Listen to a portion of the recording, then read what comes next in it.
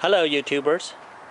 Yeah, today I'm just showing you that uh, I used scrap metal, made a service bucket 16 inch by using everything from scrap pile of someone threw away material and uh, so this is the uh, first stage of a service bucket 16 inch which is used for sewer, storm,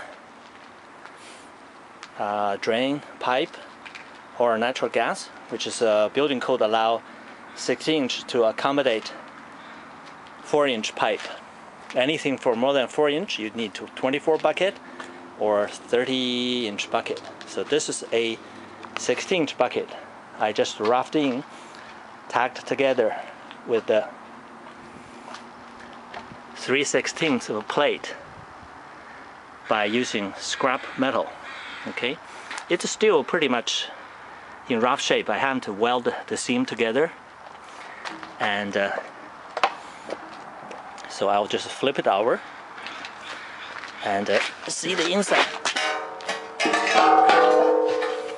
So you can tell. The reason there's a seam in the middle is that I have a tough time with my very limited workshop equipment literally bend over by hand. So it's a tough job, but I did it. The full sheet of 16 inch wide, I can't budget. But if I cut it into 8, slightly less than 8, I can just bend it over using my sharp vise. See this little puny vise is about uh, 5 inches wide. So I busted vise once, I welded it together, now it's still going and uh, here I'm showing you what I tack it together with my stick welder. It's a 200 amps liquid carbonic.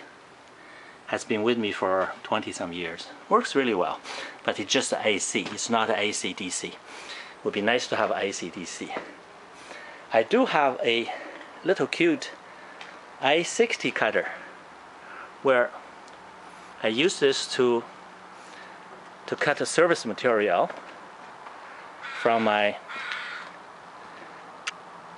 salvaged scrap metal.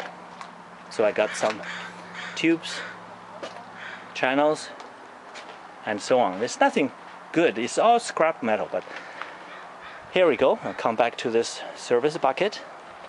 It's the front finishing width, it's 16 inch. Uh, the cutting blade, you can tell, it's a 5 8 real cutting blade of a damaged loader or something. See, this is the full stock. Someone gave to me. This is the full stock of a cutting blade of a kind of a front end loader or backhoe. So I cut a piece off, 5 16ths of thickness. So just fit into the front. I might put the teeth on there, I might not have to put the teeth on there because the service trench is not digging rocks uh, a cutting blade would do just fine. Okay, I'll show you. So, so the back is look like that.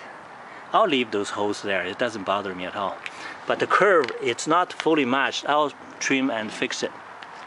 So, this is the first stage of my service bucket where I designed tapered material where the back I'll show you a little bit. The back actually is 15 and a half when it's finished. The front width, the cutting width, now is 15 inch and a half. So there's going to be a cutting cutting edge on both sides instead of against the bucket. So the cutting edge will make the uh, bucket last a little longer at the same time reduce the friction between the trench and the bucket and here will be two side cutting air would be installed. So this is long enough for thank you so much YouTubers for my PS or BS on those little roughing service bucket. This is uh, the first stage. Next stage is going to be adding some reinforcement, could be a angle iron or some sort of a plate to reinforce the airing installation and then baking up as well. And as well, going to be the strips, going to be six strips.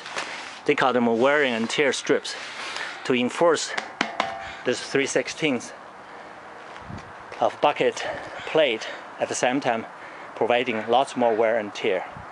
Great, thank you so much to, uh, to watch my little scrap metal into a service bucket. Anyway, folks doesn't have a lot of money. This is the best way to do it. At the same time, I can weld, cut, and so on and so forth. Have a very nice day. And uh, I'll put a second phase of finished product, all trimmed up, grinded down, and then painted over. Thanks a lot. Have a very nice day.